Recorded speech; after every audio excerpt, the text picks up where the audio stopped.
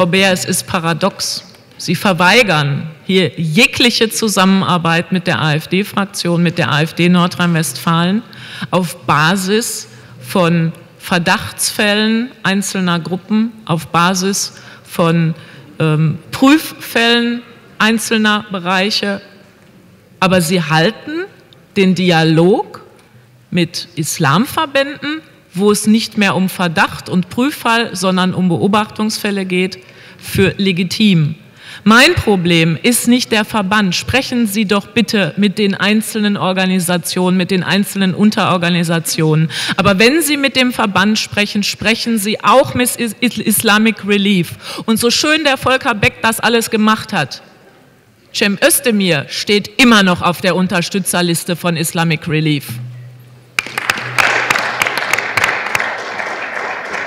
Vielen Dank, Frau Weiger-Demolski.